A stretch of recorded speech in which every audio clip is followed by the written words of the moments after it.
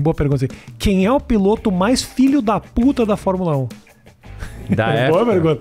Gostei desse. Na época, obviamente. É. Tinha um desgraçado que você falava, ah, lá vem aquele corno. Ah, Então, não. não, tem- não, não é assim, se você pegar e ver que Eu tenho certeza que tem algum na tua mente agora que você o fala. pastor Maldonado era um que, meu, você falava assim, Pastor puta, Maldonado. vai bater. Nossa senhora, vai bater. Não tem muito. e é Já batia, entendeu? Mas tinha, por exemplo, eu, no meio de uma corrida, a gente estava disputando meio que. eh, Não era nem Fórmula 1, era meio que a liderança, mas a reta era muito grande. Às vezes você entrava em primeiro caía para quarto na reta, né?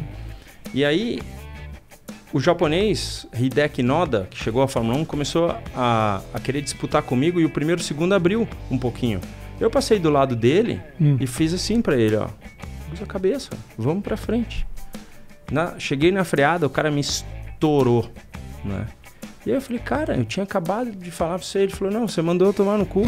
Eu falei, não, chefe, é, o- é- foi as duas mãos, não foi uma só. tá? Então, tem um, um- um negócio assim que tem, tem gente que é mais... Um problema de comunicação É. quase te matou. É isso. Tem, é uma coisa Mas aí muito você mandou ele mais... tomar no cu depois, então. Não, menos. né, aí já, Ah, porra, tinha, aí- já tinha parado, já tinha estourado tudo, não deu pra voltar, então já era, não tinha muito o que fazer.